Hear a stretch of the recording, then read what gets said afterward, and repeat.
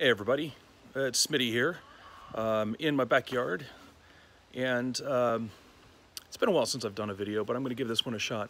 So I got into a Twitter conversation this morning with K KE8DNU uh, and if I got that call sign wrong forgive me I'm going from memory. I'll put a correction in the comments below. But um, I got into a Twitter conversation with him about antennas.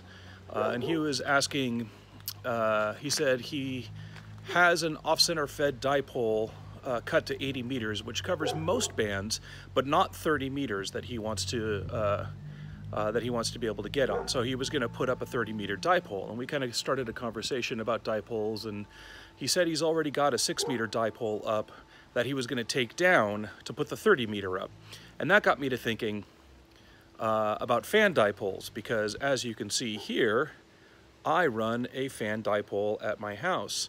Um, and I told him, don't take down the six meter, just put up the 30 meter section on the existing uh, center support and balun and use it for both six meters and 30 meters. Turns out his off-center fed dipole works for six meters, uh, but it doesn't work for 15. So instead, I am trying to talk him into building a 30 meter and a 15 meter uh, fan dipole and that with the off-center fed dipole will give him complete coverage or darn near it uh, for the entire HF portion of the bands. Uh, and so we started talking about how to build a fan dipole and most of the online resources for fan dipoles have you doing a separate wire out from the center which is correct but then you kind of fan them out hence the name and you have to support each wire separately this is an image I found on hamuniverse.com that shows what I mean by having to fan them out and support them separately. Uh, and that works, but you do end up having to tie off a whole bunch of ropes. Um, and if you don't have convenient places to tie those off, that's not uh, a very convenient antenna to put up. What I did here, you'll notice that all of the wires, oh, this is an 80 meter, 40 meter, and 30 meter fan dipole. So if you notice, they're all kind of parallel. These are little sections of PVC pipe that I cut and then drilled holes through and ran the wires through to use as uh, spacers. But right here, you can kind of see one of the first joins. And in a second, I'm going to go up on the roof and show this to you closer. Uh, and then over here is the second join. Um, and what I'm doing is I am tying off the shorter lead, which in this case I believe was the bottom wire. So I'm tying off the bottom wire to a little loop that I put in the, uh, I'm sorry, I'm tying off the shorter wire with a section of rope to a little loop that I put in the longer wire. Uh, and I'm gonna go up and show that to you now. Um, but first, I guess I want to talk a little bit about what a fan dipole is. So a fan dipole is just like any other dipole, uh, you know, half-wave dipole, except that you have multiple elements coming out of your center insulator and your balun. And the idea is that if you've got multiple elements, like in this case, I've got an 80 meter, a 40 meter, and a 30 meter, whichever band you are operating on and putting energy into, assuming that one of those legs is resonant at that band, then that resonant leg will go, it'll start resonating, which lowers its impedance. And when it's, you know, it goes down to about 50 ohms, right? I mean, that's kind of the way a dipole works. And as soon as you get down to 50 ohms, all of the other ones are going to be a much higher impedance than that 50 ohms. And when you have a high impedance in parallel with a low impedance, the low impedance is the one that gets all of the energy. The high impedance one kind of disappears. And that's true with resistors and just about any other um, uh, uh, any, any other load right? Whether it's a complex impedance or, or a simple impedance. So if you put a 50 ohm resistor in parallel with a 1000 ohm resistor or a 10,000 ohm resistor, the 50 ohm resistor is going to dissipate all the heat and the 10,000 ohm will just get a little tiny bit of it, but it really insignificant compared to the 50 ohm. So that's what's happening with a fan dipole. If I've got an 80 meter and a 40 meter antenna, both hanging off of the same uh, center support, um, then when I operate on 40 meters, the 40 meter resonance section will drop down to about 50 ohms and the 80 meter resonance section will stay at a high impedance. I don't know what the number is, but it's high enough that it doesn't get any of the energy. And so in this way, and similarly, when you operate on 80 meters, the 80 meter one will drop to resonance and drop to about 50 ohms, and the 40 meter antenna will disappear electrically. And so in this way, you can build a multi-band antenna using a single balun, a single feed line, um, with multiple elements hanging off of the same dipole center support. And then it's just a matter of how do you physically construct that dipole so that it uh, works physically. And so that's why what I wanted to show you today is how I built mine. Um, so let's go up on the roof and take a look at what it, what it looks like.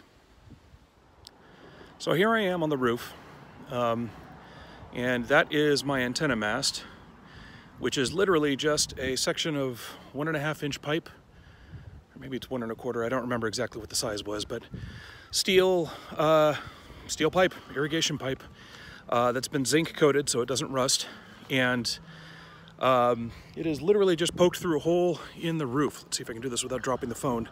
Literally poked through a hole in the roof right next to the overhang. And then in the ground, it's dug about two feet into the ground and poured some concrete around there. And so the house is acting as a guy and the uh, two foot section of concrete at the bottom is, is anchoring the bottom. And it sticks up, um, uh, I think the total height is about 28 feet, I think. So it's a 21 foot section well, that's what I did. So it's a 21 foot section of one and a half inch, and then I have a 10 foot section of one inch kind of cascaded into the top or telescoped into the top. Anyway, at the top of that is the balun. You can kind of see the white balun right here, and then the coax comes down here. And it's literally just a one-to-one -one balun, like a normal dipole balun, uh, and I have multiple wires coming off of each leg, the left side and the right side. And then these separators here are just simple lightweight PVC pipe with some holes drilled in it. Um, I kind of didn't want to bother taking the thing down to show you too much closer. Uh, I think the description is simple enough that that should be pretty good. Let's go take a look at what one of the joins looks like. Take a look at this. So this bottom wire here is my 40 meter section. I'm sorry, 30 meter section. That's the shortest one. It used to be a 40 meter section, but I cut it too short and it would never uh, it would never go down low enough into the bottom end of the 40 meter band. So I turned it into a 30 meter section and I ran another longer wire here, uh, this black one in the middle, um, as a 40 meter section. So let's get a little closer to this. Uh, you'll notice that this is this section right here is wire and this one right here is rope.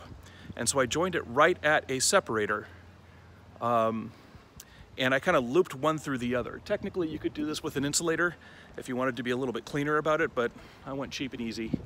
Um, and then, so the wire comes over here and it stops right there. And then it loops back on itself and it just uses a little, uh, uses a little buckle, buckle thing here. I'm not sure exactly what they're called, but it's the kind of a a U-shape bolt on one side and kind of a cast aluminum clamp on the other side to hold it in place. And so that allows me to adjust the tuning of the antenna. I can make this, I can move this in and out to make it longer or shorter. So that's how I tune that leg of the antenna. But then I've got this rope section here that comes along to a little loop I tied in the next longer wire. So this right here is just a little knot that I put in the wire itself and I tied the rope off to that. And so you can see that I can lengthen and shorten this rope, excuse me, to add or remove tension from this wire. And then this, this wire here is my 40 meter antenna and it just continues on to the next join. Um, in this way, you're able to kind of tighten the, the longest wire and then, you know, get it taut and then go into the next join which is this one here. It's a little bit higher above my arm, so I can't, this is above my, uh, my ability to, to uh, stand next to it. But, you know, so that's the, the tightest joint. So I, I make the 80 meter section on top tight all the way across. Then I come over here, adjust this one to length, tighten it up, and then I come back up to the next one without killing myself, uh, and then make this one tight. As you do this, the ultimate tension on the antenna is uh, you know, adjusted by the far end of the wire there. And then the attention of all of the other ones is kind of the sum of it. And so ultimately you end up tightening one and it makes the others a little bit looser. Uh, for guitar players, it's like tuning a guitar with the uh, Floyd Rose tremolo, or the floating tremolo, where when you tighten one string, all of the other, you know, it pulls the bridge up a little bit and all the other strings get a little looser. It's kind of a pain, but you end up centering, or, uh, you know, kind of um, lean, tending toward a tight and well managed antenna. This antenna used to have five segments. It used, so it's an 80, 40, and a 30 now. It used to also have 20 and 10 meters. Um, I took off the 20 and 10 because they never tuned up right and it was kind of crowded and uh, that getting it all tensioned with five wires was a heck of a lot more complex than getting it tensioned with just the three. So I ended up taking off the 20 and 10 meter sections. Um, but the point being that you can build a fan dipole pretty simply without having to get complex with where you put your uh, um, your tension wires, you know, the, the, the ropes that, uh, that hold out each of the, of the sections. This is, uh, what's the thin stuff? Is it schedule 80 or schedule 20? I can't remember. But this is nice and thin, just PVC pipe, little half inch section that I've drilled some holes through um, and just ran the wires through. Let's see if I can get a little closer view on that, right? So it's literally just a simple hole in PVC just to keep the wires separated so that they're not uh, banging up against each other. Um, but yeah, that's it. That's a fan dipole. They're pretty easy to make. They're incredibly effective. Uh, having the wires so close to each other, uh, one could probably make a pretty good argument that they would work better if they were separated out. Um, but my 40 and 80 meter works great. 80 meter works great. It doesn't even notice the other wires. 40 meter doesn't quite tune up to a one-to-one -one because it's got this other load right next to it. And then 30 meters is a little bit more. That's why 20 and 10 didn't work out so well because they had so much extra stuff nearby them.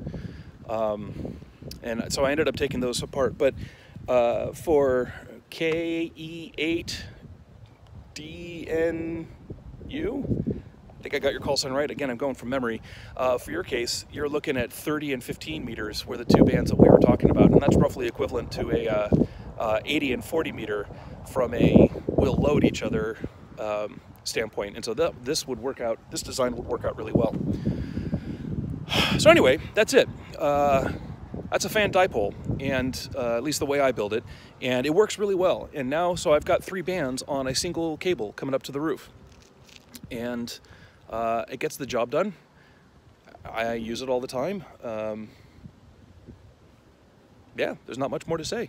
Let me know if you have any questions. Uh, um, you know, hit them up in the comments below or uh, grab me on Twitter. I am at Smitty Halibut, S-M-I-T-T-Y-H-A-L-I-B-U-T. Um, thanks for watching and subscribe if you're interested. Share, let your friends know. Um, kind of feels to get feels good to get back into the saddle of making videos. It's been a while since I've done one, so uh, yeah, we'll see how this goes. Cheers, everyone. Be good humans. Thank you so much.